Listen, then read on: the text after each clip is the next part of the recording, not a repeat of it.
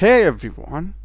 In this video, I will be showing you how to convert text to speech by using AI in Google AI Studio. Let's get started. First thing, just search for Google AI Studio. You'll be getting the first link as aistudio.google.com. Click it and here make sure that you are signing in with your Google account. And to the left, we'll be having this studio option. Expand it and click on generate media. And here you are having Gemini speech generation. Generate high quality text to speech with Gemini.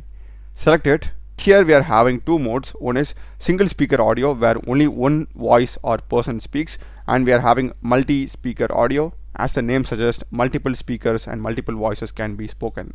So first let me show you an example of single speaker audio. So I'll just select this and here we are having two things. One is style instructions and another one is the text we want to generate to speech.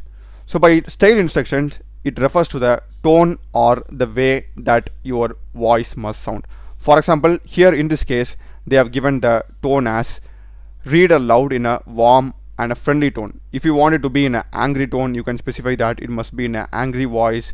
If you want it to be in a narration style or a slow paced one you can just specify that over here here we can just click on this so that it gives you some mock text that you can convert. And apart from that to the top we are having two models which is Gemini 2.5 Pro text to speech and 2.5 flash preview text to speech you can choose either one of these. I will go with 2.5 Pro. And next we are having model settings which is the temperature which is the creativity. And next we are having the voices. So if I click it we are having these many voices available if you want a preview of any of the voice you can just click on this play button. What do you want to explore? so this is the preview Ready to build something get. awesome today? and we can just like select any voice having the campfire story okay? So this will generate a mock style as well as the instruction. So I'll just click on it. So this is the mock style and the text that it has added. So it says tell this following story in a playful scary style as if you're talking to a group of campers at a campsite. So basically not only you tell about the theme of the voice but you can also give a, a line of the scenario where this voice is going to get spoken. And apart from that this is just a basic dialogue that user speaks. So once you fill these just click on run. And this will take some time to convert so once it has generated the voice you'll be getting a small media player like this. If you want to download it you can download it or change the playback speed and here you can adjust the volume. So now let's play how it sounds. All right. So, gather round close. Mm, This one, this one's a bit spooky. damn. Just how good that audio sounds. So it has this scary playful thing. So that looks amazing so if you want to download it you can just click here and this will be getting downloaded as a .wav file. So that's with a single speaker audio. And apart from that here we are having multi-speaker audio which helps us to create conversations between two speakers. So here we are having some mock text and this is the format that you will be using. So this is the raw structure and next we are having this script builder where we can add our script so for example here we are having add dialog right? I'll click it and we can add the speaker speaker one and we can just type the dialog over here.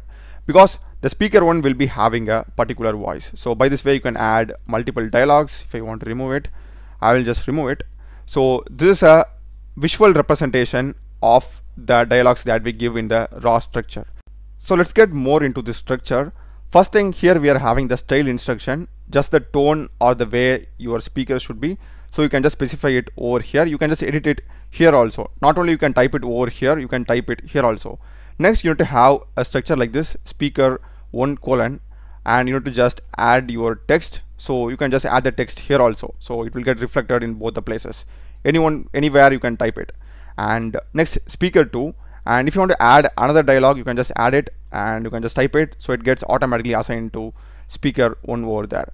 And I was trying to add if we can add a speaker 3 but I don't think it's possible because if I'm copying it and I am putting it over here and if I change this to speaker 3 I'm not getting speaker 3 or the speaker 3 settings. But if I change 3 to 1 I'm getting speaker 1 enabled. So I think in this interface we can only have two speakers at the moment so basically you just need to follow this format and add the dialogues with a colon then your dialogue speaker 1 your dialogue and then you can just like have this entire structure throughout the conversation okay? Speaker 2 it gets added over here also. You can just edit it over here.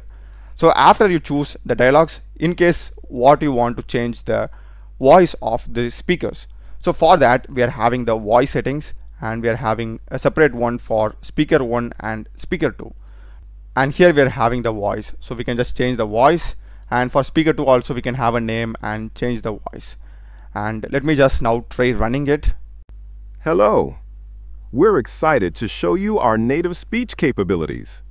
where you can direct a voice, create realistic dialogue, damn you just saw the difference in voice tones right? That just looked amazing. And as usual you can even like download it if you want to and if you want to go to your new chat here we're having new chat option. Click it. And that's it we'll be getting into a new interface and you can start the process from scratch. So that's basically it guys. Do try it out and let me know in the comments what you feel about it. Check the videos of my channel. Done a lot of tutorials in programming and AI tools. Subscribe me. Thanks for watching